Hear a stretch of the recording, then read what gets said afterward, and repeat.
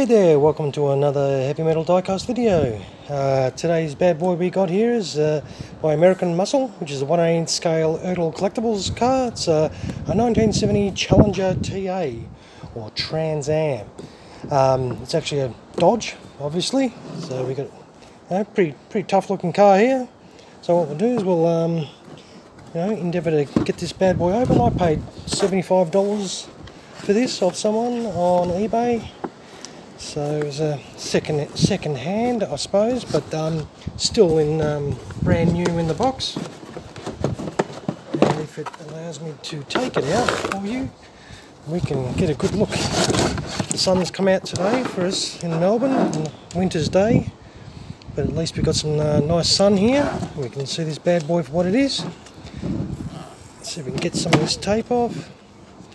Um, but as you can see, it comes on a nice, nice base here. Um, beautiful yellow Duco. It's a 340 six pack, as you can see, and um, it's got a little backing board on the back there, and it's obviously held on by these screws right, right there. So what I'll do is I will save you the, the headache of watching me go through taking it off the base, and I'll be back in one second once I've taken this uh, base off and I'll show you the car in better detail. Okay, we're back, and as you can see, loosen those screws off. It's quite easy, it's just two screws, and that allows you to take that um, base off. And uh, also gives you a chance to check out the underneath here. Check out the exhaust. It's got a nice dual exhaust, dumping, dumping out in front of those rear tyres. Nice detail of the undercarriage in, in there. Oh, it's a pretty pretty tough looking unit this. Obviously that's some plastic that holds the bonnet down. Um, we'll just, that'll be for the doors. So what we'll do is we'll spin this baby over. We'll just put it down for a moment. And I'll just get a little, little blade out and I'll cut this tape out of the way so we can get these doors open. What do you reckon? So we'll just take take that tape out of the way, open that door, and tape be gone. So, as you can see, it's in this beautiful, beautiful yellow colour here. And uh, the crows, as you can see, we're outside, so we've got some beautiful uh, sunlight on this bad boy. It's a pretty tough, tough muscle car, 70s like the late 60s, mid 70s, pretty pretty tough looking units.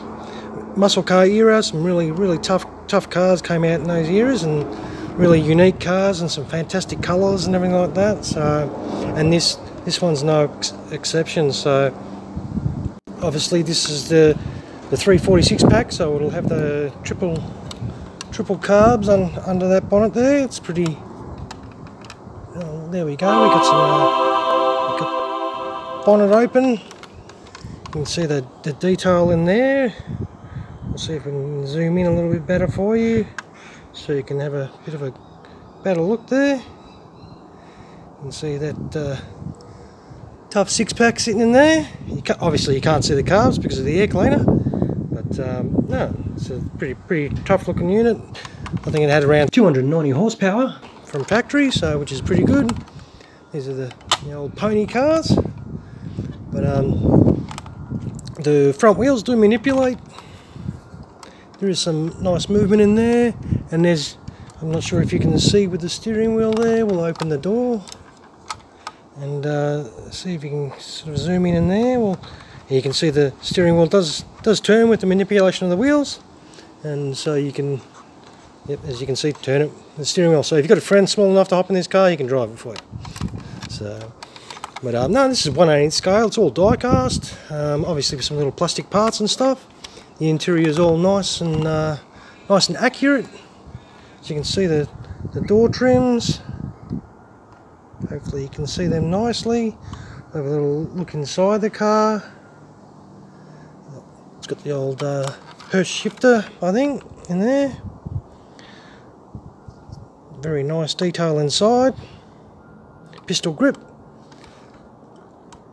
and it's got all the um, beautiful, beautiful um, pinstriping on the side denoting the nice decals for this 340 six pack.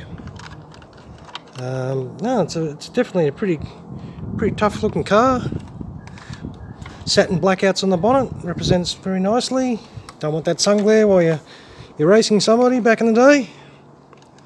But um, no, this this this colour really pops, especially out in a nice nice sun. So boot boot doesn't doesn't open, so it's sealed there. But obviously, as you saw, the bonnet does open nicely, and um, does does reveal a lot of engine detail in there. And you got the hood scoop and everything. It's quite quite and the bonnet pins and everything on there too. So yeah, overall detail of this this is pretty good. Um, as you can see, it sits in the hand beautifully. Very, very tough looking unit. Try not to get blown away today. but uh, have a look on the, on the back of her. You can see the stance on this thing. It's really, really tough looking car. The old Challenger. Uh, I definitely think these cars are, are nice cars. I, I like these cars always been a bit partial to a bit of bit of Dodge, like the old Hemi. Hemi's always been a real tough motor. Sound sound tough, sound great. So if you're lucky enough to uh, to have one in your possession, you're a very lucky person indeed. These cars are quite rare. I think only uh, two, you know, 2,000 and something. Just trying to think. Um, I think it was 2,399, I think it was, if that's correct. Um, forgive me if I'm wrong. Uh, these bad boys were, were produced. So they are they are a pretty rare commodity. So yeah. But uh, I'll keep it short. So this is it. This is by Ertl. It's the American Muscle Series. It's a 1970 Challenger TA or Trans Am. It's a 340 V8 six pack and that's it, in 1 8 scale diecast. So yeah, I'll uh, obviously chuck some uh, photos up without my sausage fingers in the way, and um, if you found this video helpful and enjoyed it, give us a like, and uh, if you feel like it, subscribe to uh, keep in touch with uh, other videos I, I plan to re release in the future, and some past videos. So yeah, well, you have a great rest of your day, and uh, cheers. Thanks for watching.